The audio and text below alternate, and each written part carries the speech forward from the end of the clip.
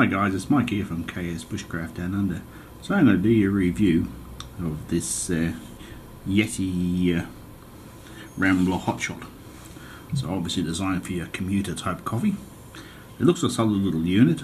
I'll uh, I'll compare it to uh, sort of your double walled uh, reusable type cup and a um, Klean Kanteen insulated We'll see how it performs against these guys.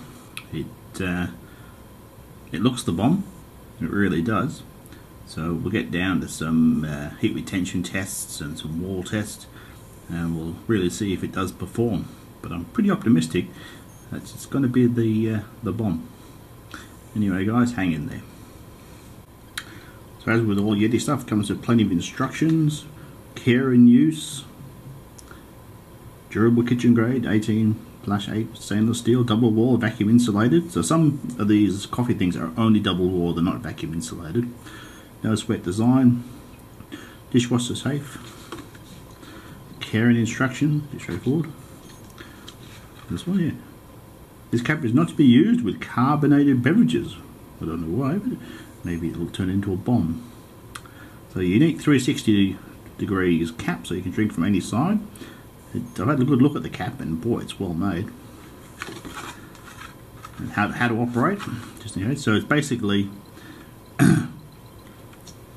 turn to uh, close and uh, one turn backwards to open. Two clicks back and the whole lid assembly disassembles for cleaning which is fabulous.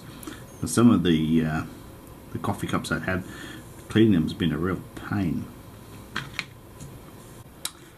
So guys, a few specs. In Australia this sells for 39.95 Australian dollars.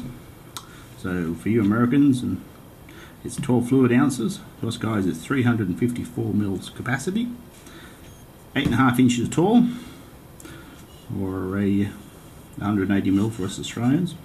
75 mil in diameter, or three inches in diameter for you guys, and 420 grams. So it's a little brute, it really is. So, well constructed, nicely finished. Got, as per usual, it's got Yeti stamped on it. Got a nice finish on it. But what sets it apart, I think, is the cap. It's an absolute bruiser. It really is.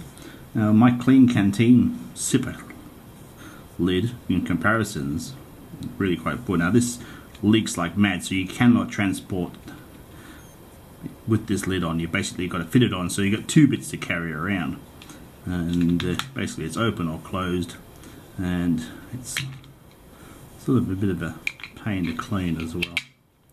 So you've got to remember to install it properly, like that, a little bit lined up first. Well, this fella here, basically, it's closed. You back it back, and you're drinking from any any position which is brilliant. And two clicks. Thread disengages. So it's only partially threaded. So it's really a smooth design. So there again install it. One two and the threads are engaged. Really impressed. So I tested it for an hour. Now the three of them it performed the best. After one hour, it was at 89 degrees Celsius, the board of water I installed. The Klean Kanteen was the second one at 83 degrees, and the, the double wall cheapie was at 67 degrees, so a huge difference between the three of them. And the, the Yeti on the three hour was down to 70 degrees, so still quite drinkable coffee. So I think it's a brilliant little product.